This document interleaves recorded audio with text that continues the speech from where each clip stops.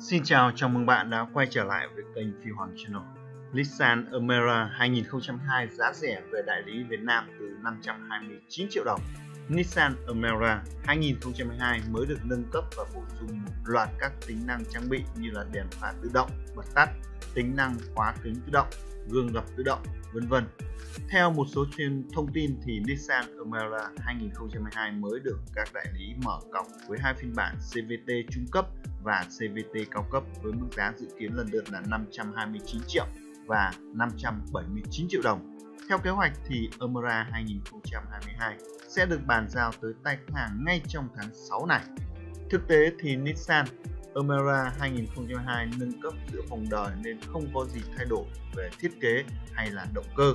Thay vào đó thì chiếc sedan cự đợt B này sẽ được bổ sung thêm một số trang bị mới nhằm tăng sức cạnh tranh với các đối thủ cùng phân khúc như là Honda City, Toyota Vios, Hyundai Accent.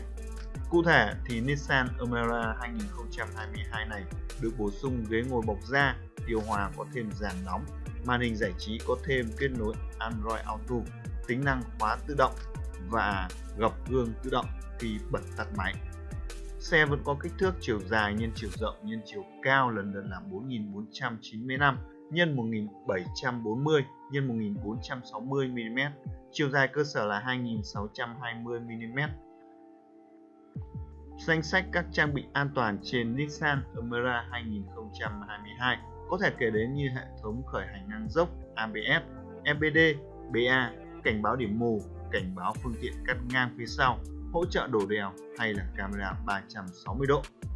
Về chuyển động thì sao? Nissan Almera 2022 vẫn tiếp tục sử dụng khối động cơ xăng 3 xi lanh, tăng áp và dung tích là 1.0 lít. Nissan Almera 2022 có công suất tối đa là 98,6 mã lực tại 5.000 vòng trên phút và mô men xoắn cực đại là 152 Nm tại 2.400 cho đến 4.000 vòng trên phút. Đi kèm với động cơ này là hộp số vô cấp CVT và 3 chế độ lái, trong đó có chế độ Sport. Động cơ này đã được điều chỉnh để đạt chuẩn khí thải Euro 5. Trong phân khúc sedan cỡ B thì Nissan Almera 2022 tại Việt Nam là phân khúc có phần kém nổi bật hơn so với các đối thủ.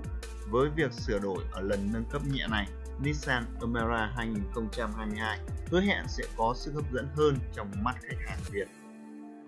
Cảm ơn bạn đã xem video trên kênh Phi Hoàng Channel. Hãy đăng ký kênh, hãy chia sẻ video và để lại quan điểm cá nhân của bạn ở ngay phía dưới video này. Xin chào và hẹn gặp lại.